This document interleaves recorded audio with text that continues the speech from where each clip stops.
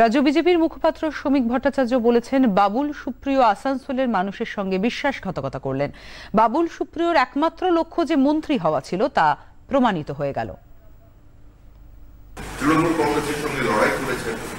মাত্র সপ্তাহ দেড়েক আগেও তিনি তৃণমূলের এক মন্ত্রীর বিরুদ্ধে, তার আক্রমণের বিরুদ্ধে, তার গুন্ডাবাহিনীর বিরুদ্ধে তিনি টুইট করেছেন।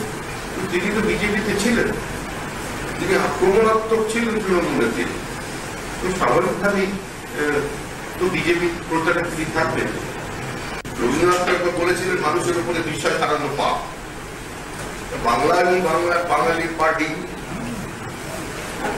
আমরা তো সেটার উপরই আস্থা রাখি। আমরা তো বলছি, ঘটনা দুর্ভাগ্যজনক এবং ঘটনা দুঃখজনক। কিন্তু বাবুল সুপ্রিয় সিদ্ধান্ত, তো বিগত কয়েক মাসের মধ্যে তিনি বারবার সিদ্ধান্ত নিয়েছেন সোশ্যাল মিডিয়ায় জানিয়েছেন এবং সেই সিদ্ধান্ত থেকে দিকে চলে এসেছেন। তিনি অল্পক্ষণের মধ্যেই এবং অল্প দিনের জন্য সিদ্ধান্ত উনি নিজেই বলতেন যে আমি সব কম দিনের জন্য কাজ। উনি অল্পদিন ফুটবল খেলেছেন অল্পদিন চাকরি করেছেন অল্পদিন গান করেছেন। হঠাৎ আবার গান থেকে ছেড়ে রাজনীতিতে এসেছেন।